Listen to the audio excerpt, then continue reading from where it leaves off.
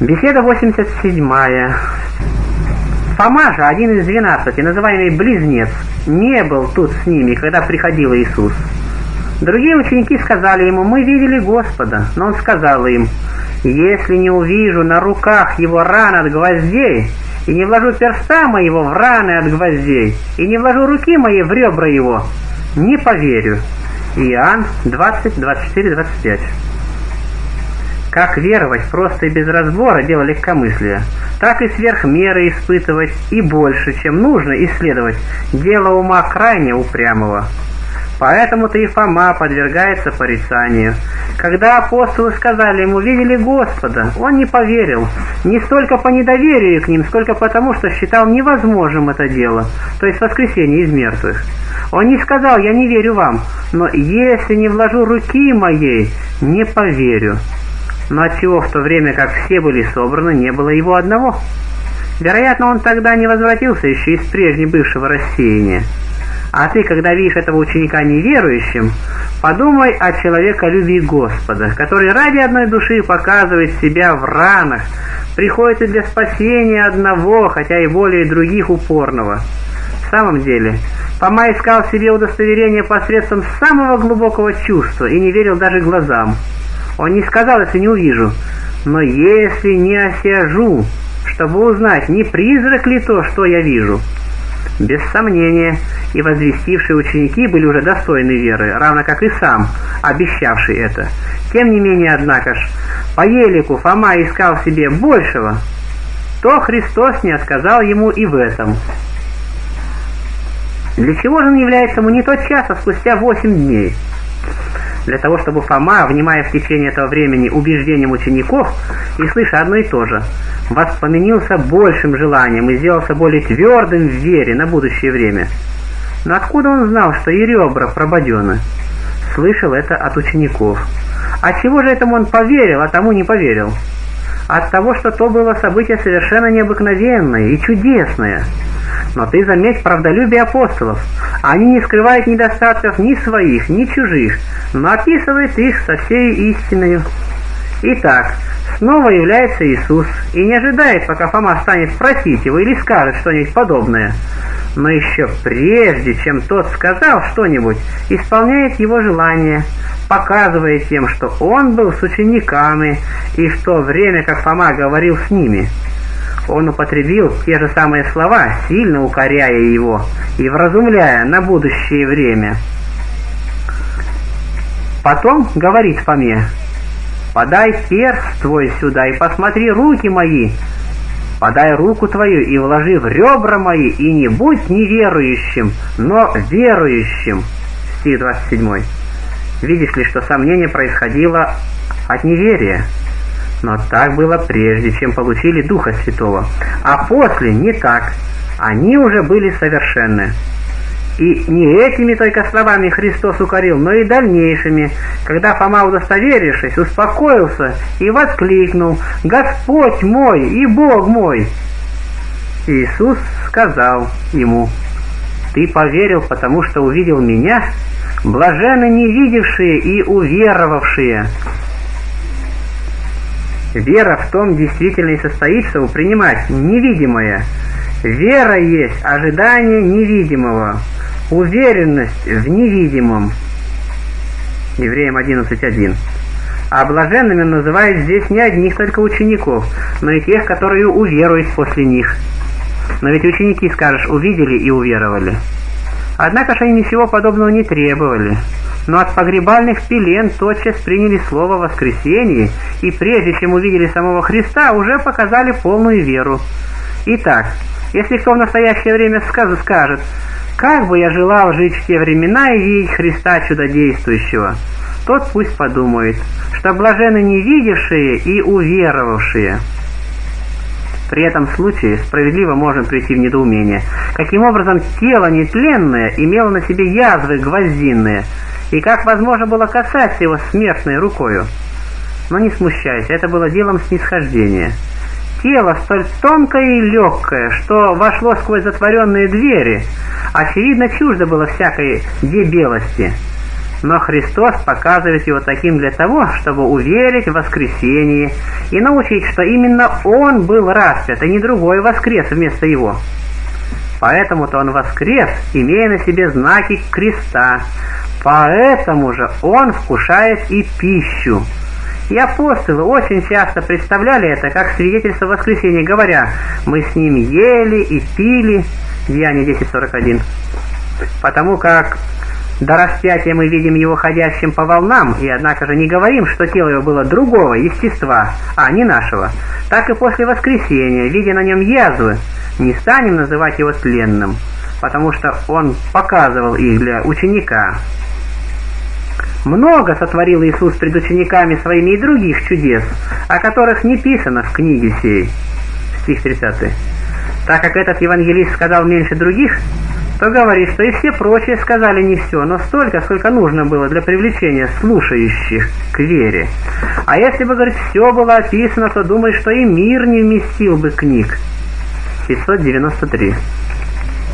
Отсюда ясно, что не из хвастовства говорили о чудесах, которые они описали, но единственно для пользы. Да и как возможно, чтобы они описали из хвастовства, когда большую часть их опустили? Но почему же они не о всех рассказали? Преимущественно по их множеству.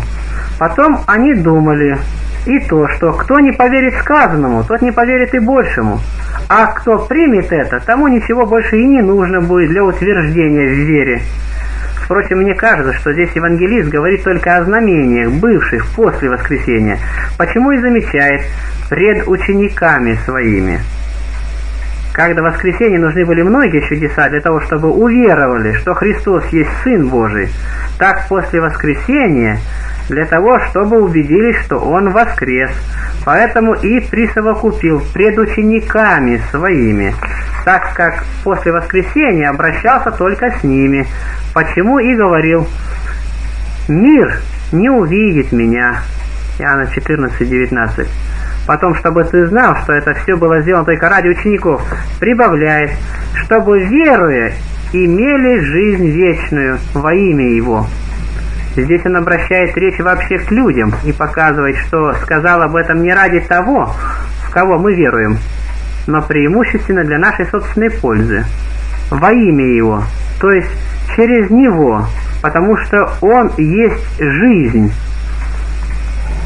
После того опять явился Иисус ученикам своим при море Тивериадском. Явился же так, 21.1. Видишь, что он не постоянно обращается с ними и не так, как прежде. Явился вечером и скрылся. Потом еще однажды, спустя восемь дней, и опять скрылся.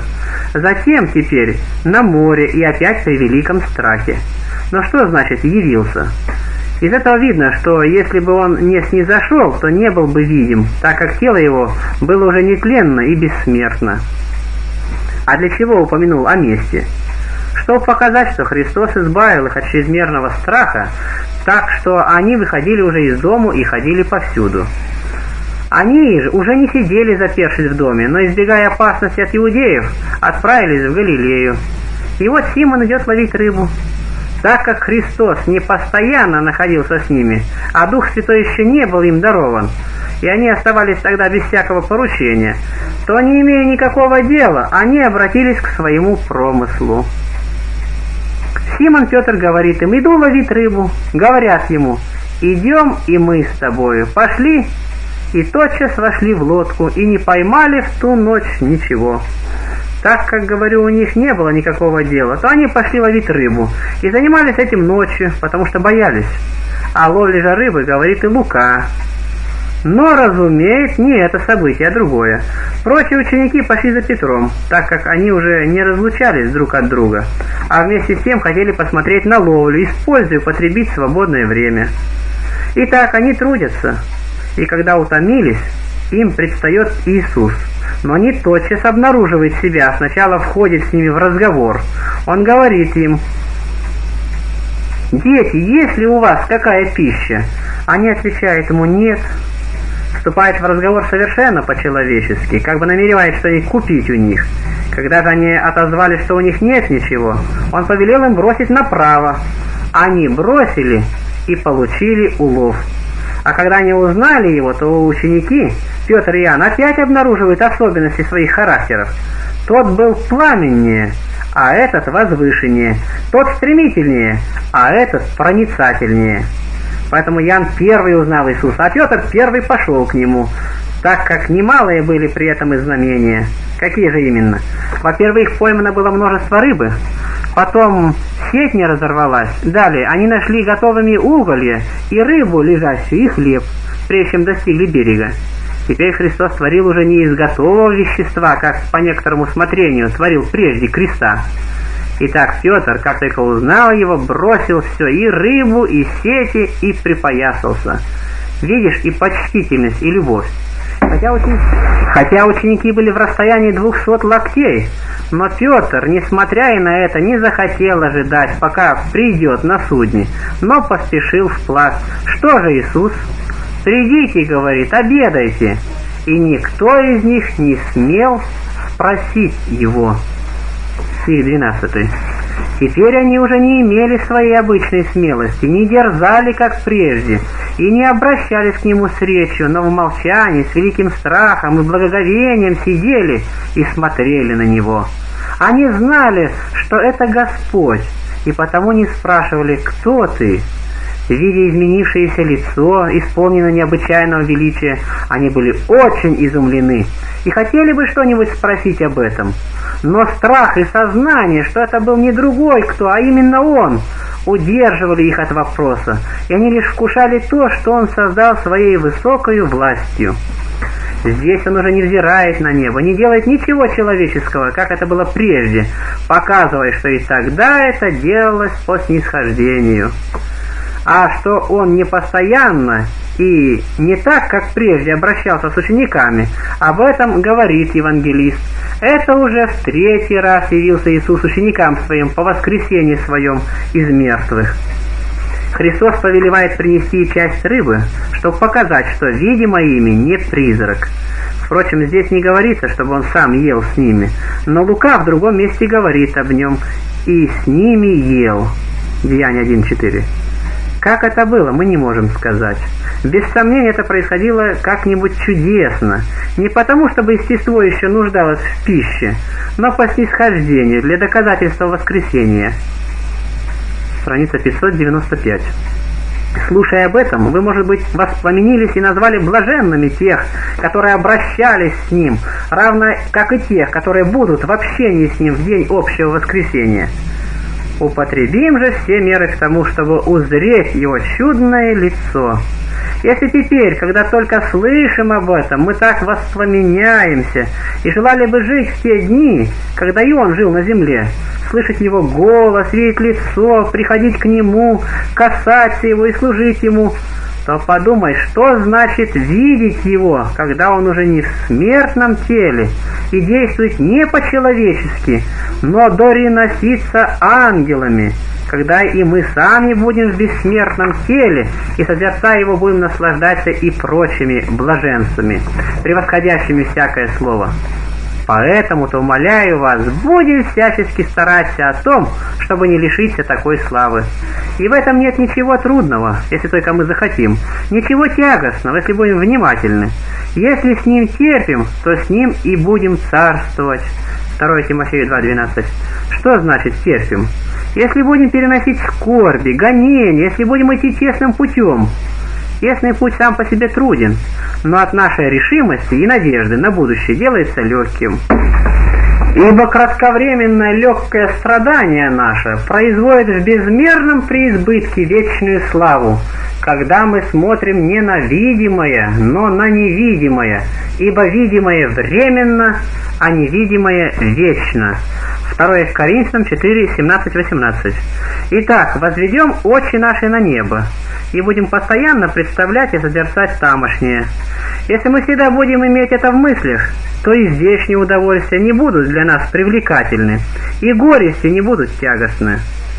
И над этим, и над подобным мы будем смеяться, и уже ничто не в состоянии будет ни поработить, ни надмить нас, если только мы желанием своим устремимся туда, и будем взирать на ту любовь, И что я говорю? Не будем скорбеть при настоящих бедствиях. Мы не будем даже замечать их. Таково уже свойство любви. Кого мы любим, и кто находится не вместе с нами, но вдали от нас, того-то именно мы и представляем себе каждый день. Велика поистине сила любви.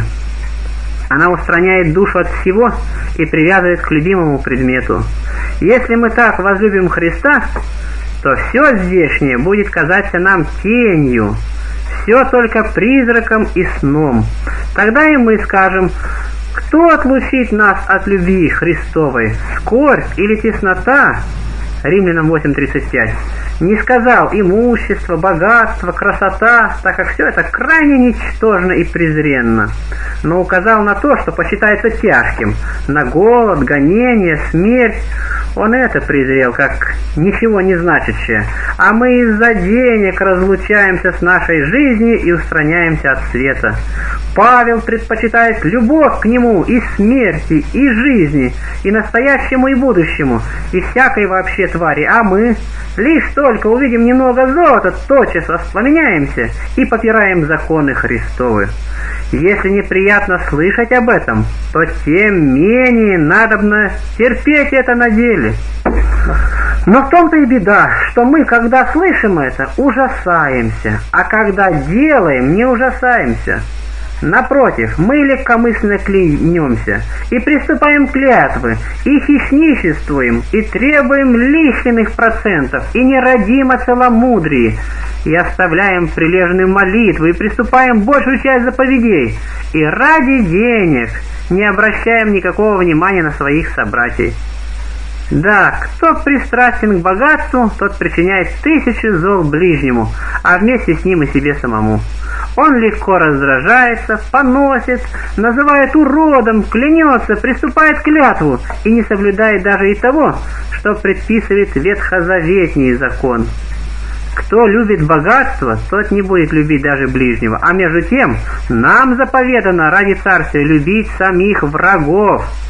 И если мы, исполняя древние заповеди, не можем достигнуть Царства Небесного, если правда наша не превысит той правды тех, Матфея 5.20, то приступая их, как получим оправдание?